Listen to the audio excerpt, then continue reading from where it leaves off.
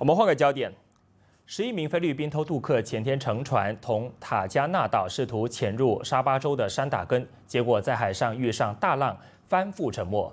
我国皇家海军昨天中午在努努央岛五海里的范围执行巡逻任务时，发现有五人在海中浮沉，马上展开营救行动，一共救起五人。过后发现一具七岁男童的尸体。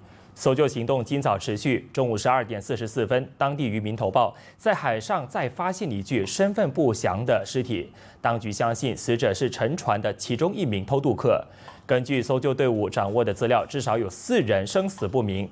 随着时间流逝，失踪者恐怕凶多吉少。